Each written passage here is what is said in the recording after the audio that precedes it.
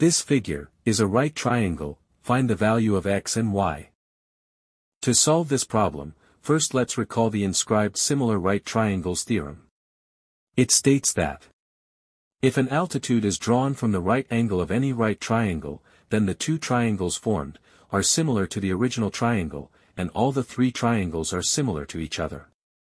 From this theorem, let's observe in our diagram that, the altitude is drawn from the right angle of the triangle. So, the triangles formed are similar to the original triangle. Going further, the proportionality of the corresponding sides of the yellow triangle and the given triangle is 20 over x is equal to x over 35. By cross multiplication, we have x squared is equal to 20 times 35. 20 times 35 is 700.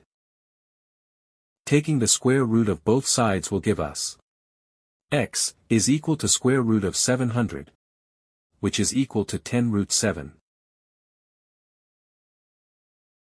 Also, the proportionality of the corresponding sides of the red triangle and the given triangle is 15 over y is equal to y over 35. By cross multiplication, we have y squared is equal to 15 times 35. 15 times 35 is 525.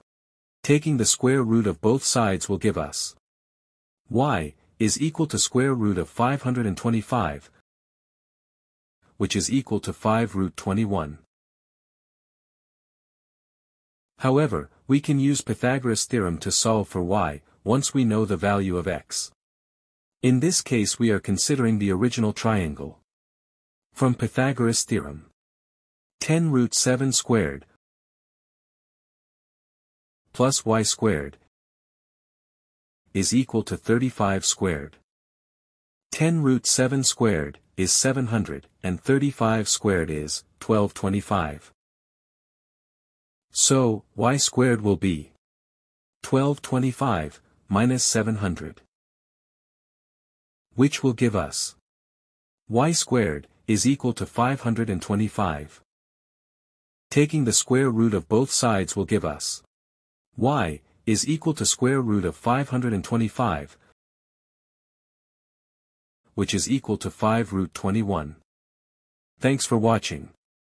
If you liked this video, make sure to subscribe for more.